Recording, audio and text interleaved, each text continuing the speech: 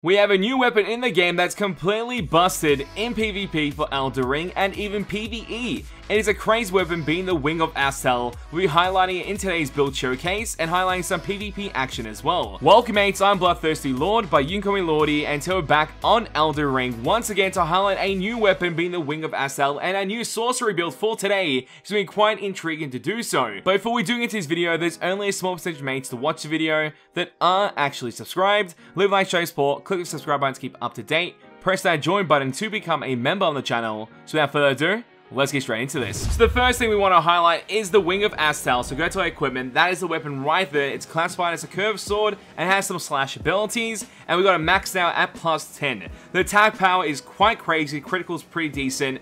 Alongside that, the attribute scaling is the most important here. With intelligence at B status and dexterity at C. So if you have a build with intelligence and dexterity, this is going to favor that build so darn well. So this is the weapon to go for, no doubts whatsoever. And the attack power with this weapon is at 585, which is a good amount to have on a weapon that hits so fast with high dexterity as well. And our stats for our build are highlighted on the right side, with Vigor at 41, Mind 40, Dexterity at 33, Intelligence at 70, so we busted out that aspect there. We pretty much a glass cannon in this case, but we're going to do a whole lot of damage with this. That is the Wing of Astel. The animations you get from it uh, is a light attack right of here. Quite quick. The actual slashes it does have. Then you do have a heavy attack, as you can see, which shoots a projectile. Like air slashes from a Moon Greatsword. So that's the aspect you get there. But if you do charge this up, you actually get two slashes. So doing some potential uh, conditioning moves towards enemy, then you surprise them with a heavy animation like this. They dodge one, they forget to dodge the second, they take the damage. It's pretty good, and it does not use any FP at all. But the Ash of War is so clutch here. It's pretty much like our last video. So if you've seen our last video highlighting the Bastard Star, it has that same mechanic, but instead of being 360 degrees and a slow animation, it's around 180 degrees and it's super fast in comparison to the Bastard Star. Make sure to check out that video. It's linked in the description below if you want to see another weapon that you can utilize for these type builds for your mage. But the Ash of War on this build is as showcased right up here. Whole bunch of stars collapsing, colliding, exploding towards enemies, whatever it may be. It is super fun to do. There's a quick animation to this, and I believe you can hold it down for longer. Maybe it just looks like it's been held down for longer, but it's the same thing. But if anyone gets hit in those actual areas, they will take damage from each explosion.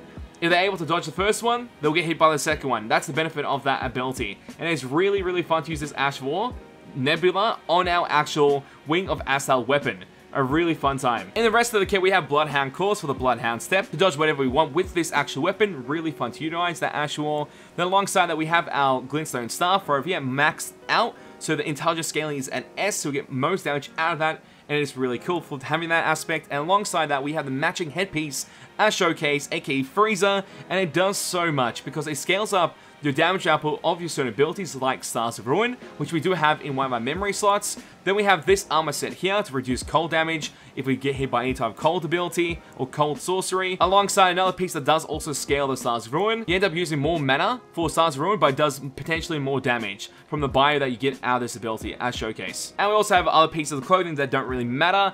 Alongside that, we have the Shard of Alexander, greatly boosts the attack power of your skill, so that'll be boosting up your Ash War, so that's really good.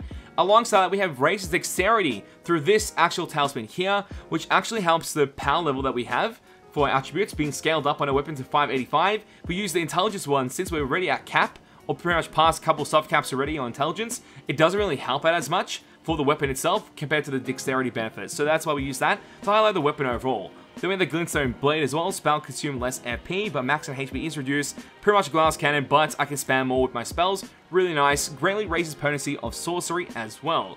And then we have our flask 6 to 8. It will obviously decrease depending on what game mode you're going to go into. Invasions, invaders, being on your own lobby and people joining your world, whatever it may be, that's the case there. Then we also have our Flask as well, significantly negates damage received from the first one, and the second aspect heal status and raises resistance. This will make me a little bit more tankier or at least survive one hit in some aspect when I'm going against a hard opponent. So that was our build, but now let's highlight our spell. So our first spell that we do have is Guardian Phalanx. This ability will activate, and essentially if any target gets close to me, they'll get staggered by this ability. Really, really good. The next ability is Terror ability, right over here, on the Terror spell. Increases all magical damage by 35%. Really, really nice to have on certain abilities. What combos with that? Well, is the cannon, which you can charge up and provides nuke enemies if it does land, as you can see. Well, that went over. Let's do another demonstration over here. When it does land, it does crazy huge damage and a huge explosion. Really good for area effect damage overall. Let's ring a pot. And our next spell is Stars Ruin. It just chases down targets and it's really great for pressure overall. Really nice. Then alongside Founding Rain, which actually helps us if we do get engaged on, it'll leave a certain mist in the air that actually rains down damage from above. Really, really nice to have. And then we have our Dark Moon, which is a beautiful ability to have.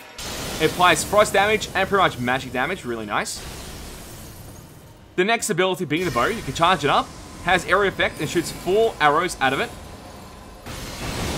Really nice, good from a high elevation on a cliffside. And then we have our counter ability, which you place into the air. Any spells, and I believe incantations, will actually get redirected into that orb and pretty much not hit me. If I'm standing over here and a spell goes past it, it'll go through the actual orb and disappear.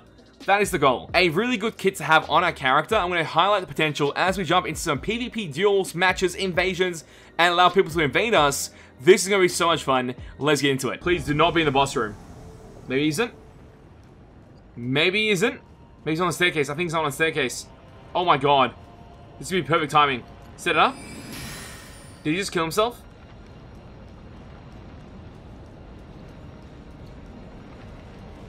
I hear him. I see him.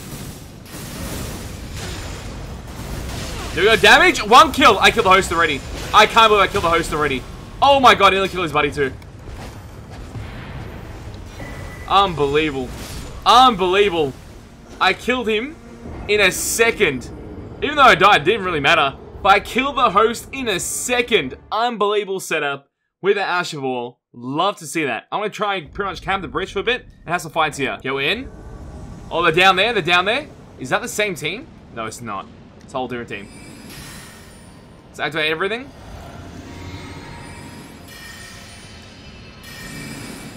Nuke. GG! I win! GG! I win! Outplayed. Absolutely outplayed. You'll love it. A three-man party. See you later, man. See you later. Back on the bridge with that, with that. Please tell me the below. And the boss aspect yet? Maybe not. Maybe not. Activate abilities. We'll make sure we're completely ready for this. I'll use my Nebula right around here. Sometimes they camp there. They did not.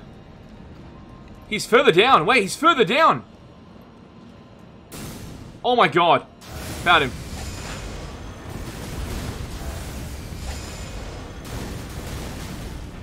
I found you, dude. That's his buddy. Show me the real one.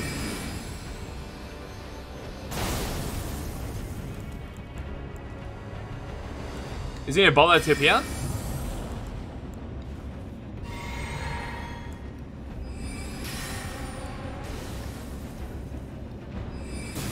Because I'm safe no matter what.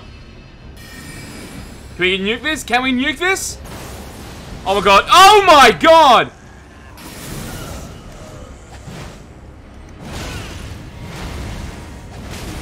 On, come on.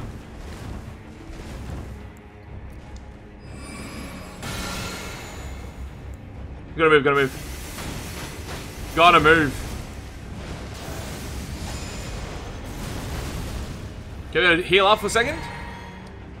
Potentially moon? Can we moon in time? We moon? He's watching us.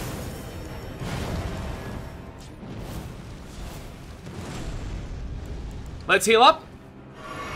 Good position a good position. Nasty. He might be dead. He's gonna die.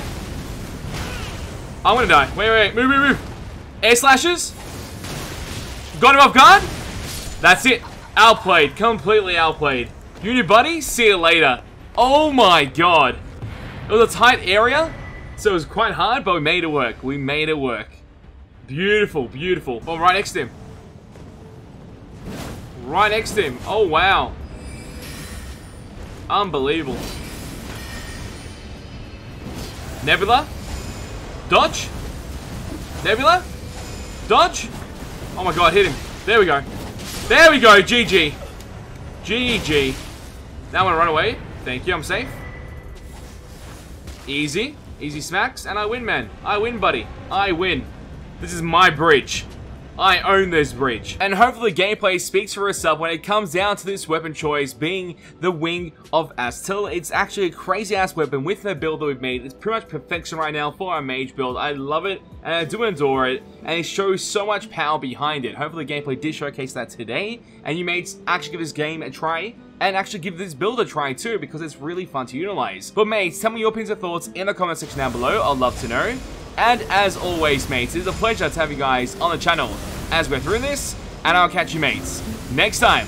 Bye-bye. Road to 200k subscribers. Let's get it, mates.